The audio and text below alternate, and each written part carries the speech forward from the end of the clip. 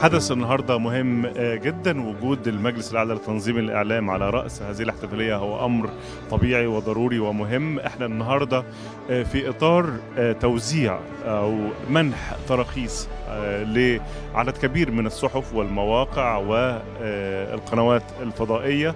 آه، الجميع آه، حصل على ترخيص قرابة أو أكثر من 80 موقع. ده أمر مهم جدا. حالة الانضباط اللي وجدت في السنوات الأخيرة بسبب آه، وجود المجلس الأعلى للإعلام أمر مهم جدا. وده الأساس اللي كل شغل المجلس الأعلى موجود عشانه وعلى هذا الأساس كل الناس منضبطة وملتزمة. إحنا تقدمنا للمجلس الأعلى لتنظيم الإعلام بكافة الأوراق ال- المطلوبة عشان آه، ننطلق بالشكل الرسمي إن إحنا نكون موقع ومنصة Follow ICT اول منصه للاقتصاد الرقمي في الوطن العربي. كان عندنا concept مختلف إن إحنا إزاي نمزج ما بين التكنولوجيا وأدواتها وإزاي تخدم على الاقتصاد آه، في قطاعاته المختلفة زي القطاع العقاري آه، قطاع ال- الاتصالات آه، ريادة الأعمال آه، قطاع البنوك. فقدرنا نعمل كونسبت جديد للاقتصاد الرقمي؟ النهارده بصراحة أنا شايف إن دي آه، زي ما بيقولوا كده مثابة عرس إعلامي.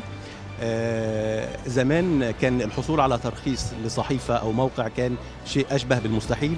النهارده زي ما إحنا شايفين الحمد لله أكتر من صحيفة وموقع وقناه حصلت على الترخيص.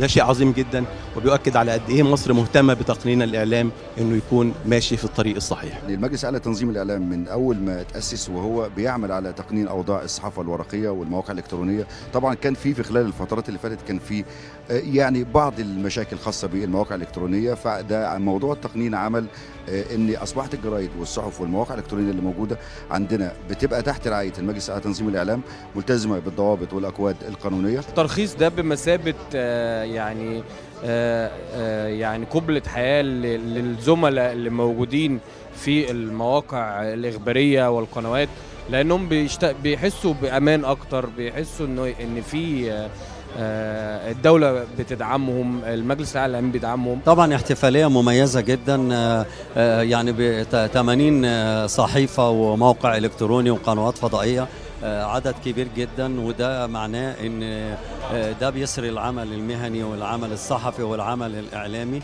آه، عدد كبير وده تنوع وده مهم جدا موضوع الرأي والرأي الآخر.